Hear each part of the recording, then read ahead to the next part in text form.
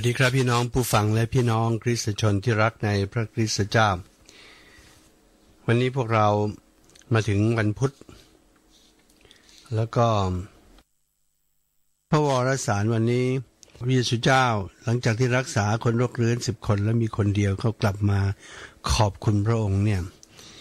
พระองค์ก็เลยตั้งคำถามถามคำถามนิดเดียว แต่มันทำให้ทุกคนต้องมาคิดเหมือนกันว่า ทั้งสิบคนหายจากโรคไม่ใช่หรือ อีกเก้าคนอยู่ที่ใดเล่า ไม่มีใครกลับมาถวายพระเกียรติแด่พระบิณเจ้า นอกจากคนโรคเรื้อนที่รับการรักษา เป็นชนต่างชาติคนนี้หรือคำถามนี้พระองค์ถามคนโรคเรื้อนสิบคน แต่ว่าเหลือคนเดียวที่กลับมา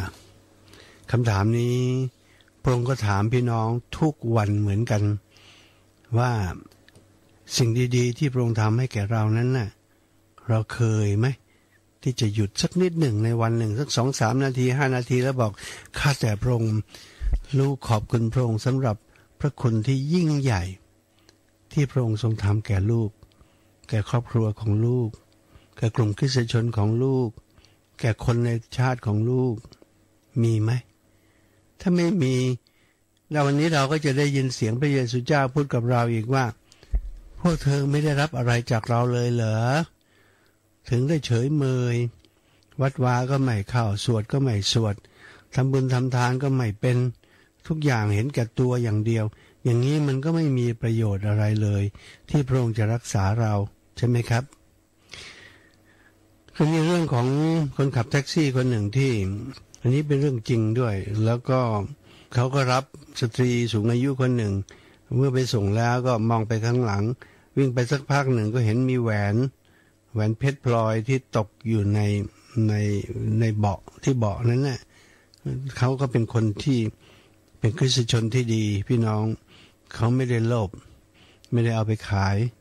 เขาตามหาผู้หญิงคนนี้ตั้งสองสามวัน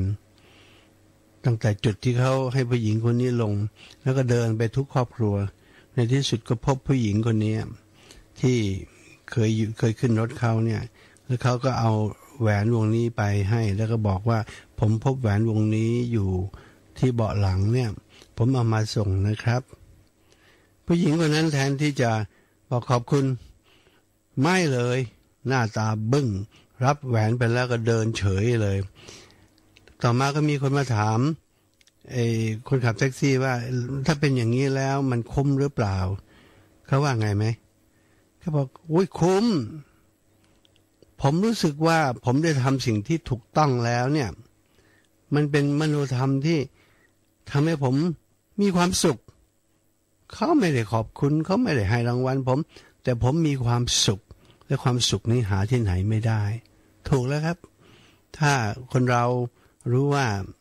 เราทำสิ่งที่ดีที่สุด ตอบแทนพระคุณของพระเป็นเจ้าเนี่ยก็มีคุณค่าเหลือหลาย ขอบคุณพระเจ้าสำหรับ ระพรที่ให้แก่พวกเรา และขอโทษพระองค์ด้วยที่หลายครั้งเราไม่ได้คิดถึงพระพรที่พระองค์ให้เรา สวัสดีครับพี่น้อง